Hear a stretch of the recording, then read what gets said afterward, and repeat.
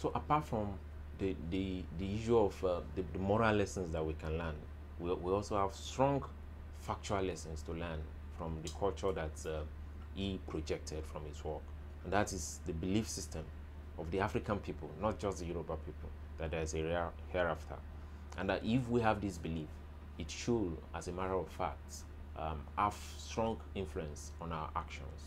Uh, the man who, for want of palm wine, decided to follow his palm wine into the world of the dead, had to see so many things. He, he had to come to uh, come to uh, come face to face with so many challenges, some which he surmounted. You know, and uh, that is also a lesson for us even now that uh, in our pursuits, in our activities, we should always know that we are living just at the fringes of of the other world, and that we have with us, among us, and uh, from us, and across where we are, people from the other side, those who have been where we are today, and who are on the other side, and that we also uh, necessarily we have to be where they are at some point or the other.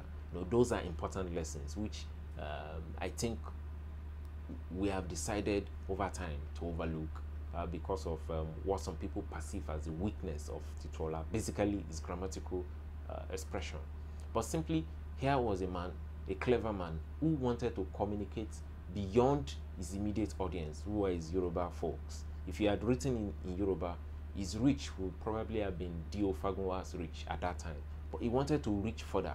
He wanted to. He wanted the world to see what he is living in. He, and in a matter of, uh, as a matter of fact, he did achieve that. He shocked the world. It was like a culture shock. He did shock the world. Not only shocked the world, he also shook the world. You know, and that was his objective. And so, for as a writer with objective, I would say he achieved nearly 100% of his objective. He reached his audience. He achieved fame, and possibly also some handsome fortune for his work. And so for a writer, that was a, that was a stroke of uh, ingenuity on it, on his part.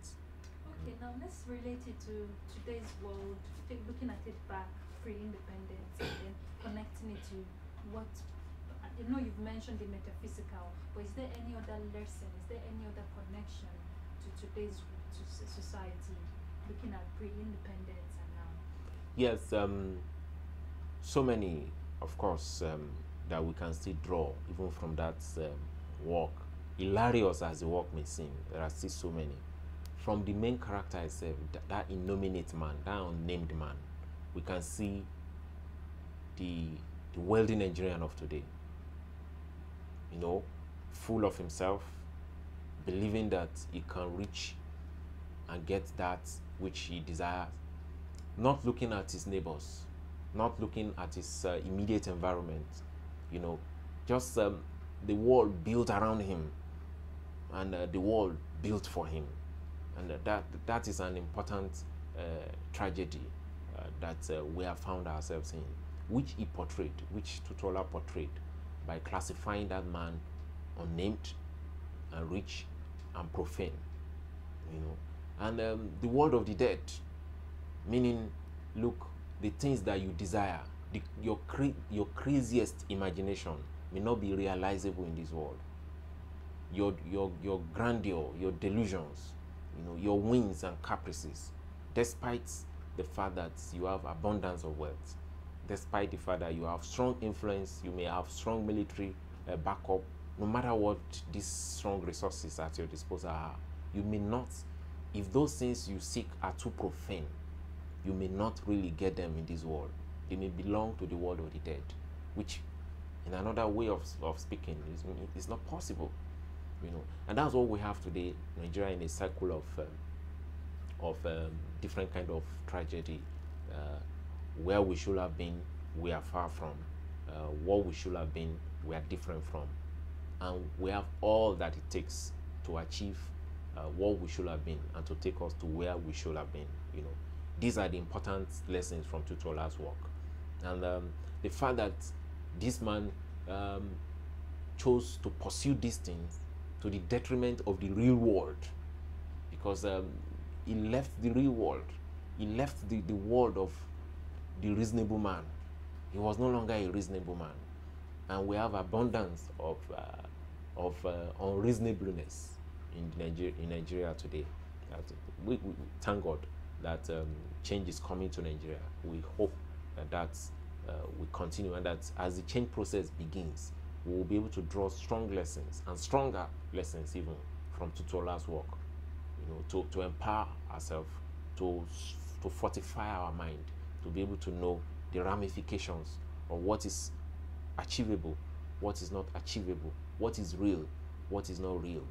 To be able to understand that beyond our immediate physical world that we can touch, there is this other world that is also real and full of different kind of reward system for our actions and inactions.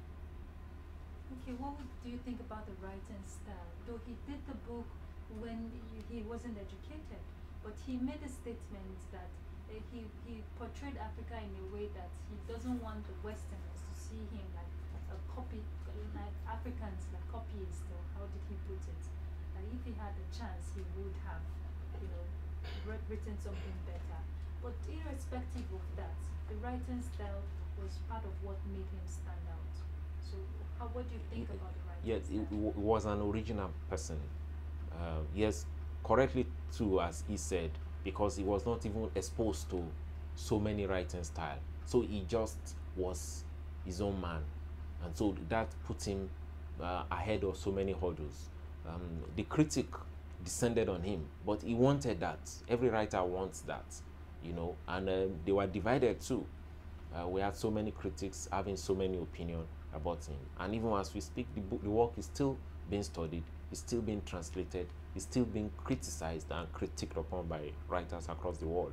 So I think, if anything, coming to today is a lesson for the writer of today that we have to be original. We have to stand out for something and be original in our portrayal of whatever theme we choose to preoccupy ourselves with. Okay, is there any other thing you want to add concerning the work? As um, I'm wondering, Kat, you didn't say anything about the title. Okay, the Drinkard. Yes. Yes, um, for me, you know, the grammatical aspects of this work, like several other critics have said, um, you just have to give a strong waiver to the man. You know, you have to give a strong waiver to the man.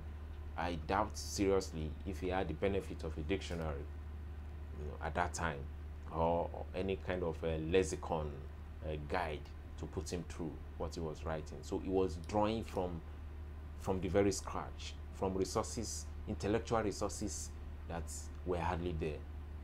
The most important thing he had for him was the gusto, the gumption to, to just forge ahead. So I will give him a very strong waiver on those, on all the, there were so many, several. Write through the book from the title, from the Drinkard, uh, from